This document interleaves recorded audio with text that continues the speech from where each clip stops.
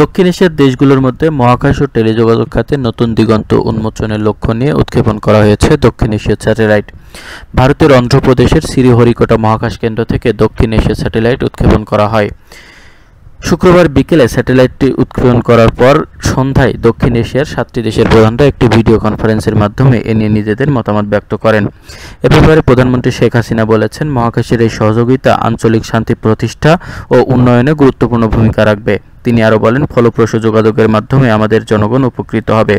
ভারতের প্রধানমন্ত্রী নরেন্দ্র মোদী বলেন, আবহাওয়া ও টেলিযোগাযোগের পাশাপাশি এই স্যাটেলাইটের মাধ্যমে নিজেদের চাহিদা পূরণ করতে পারবে সংশ্লিষ্ট দেশ। তিনি আরও বলেন, আঞ্চলিক সহযোগিতার ক্ষেত্রে মহাকাশের কোনো সীমা নেই।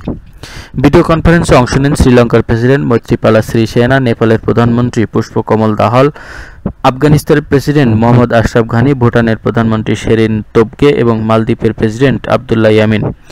দক্ষিণ এশিয়ার দেশগুলোর মধ্যে মূলত আবহাওয়া এবং প্রাকৃতিক দুর্যোগের সতর্কবার্তা আদান প্রদান করাই এই স্যাটেলাইট উৎক্ষেপণের মূল লক্ষ্য। এছাড়া টেলিমেডিসিন, টেলিশিক্ষা, আন্তঃসরকার নেটওয়ার্ক, টেলিভিশন ব্রডকাস্ট এবং ডিটিএইচ টেলিভিশন সেবায় সুবিধা পাওয়া যাবে বলেও আশা করা হচ্ছে।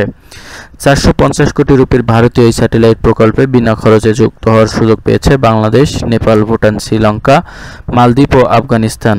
তবে এই প্রকল্পের সঙ্গে যুক্ত হয়নি পাকিস্তান। সাউথ এশিয়া স্যাটেলাইটের বারোটি ট্রান্সপন্ডারের মধ্যে একটি বিনামূল্যে ব্যবহার করতে পারবে বাংলাদেশ।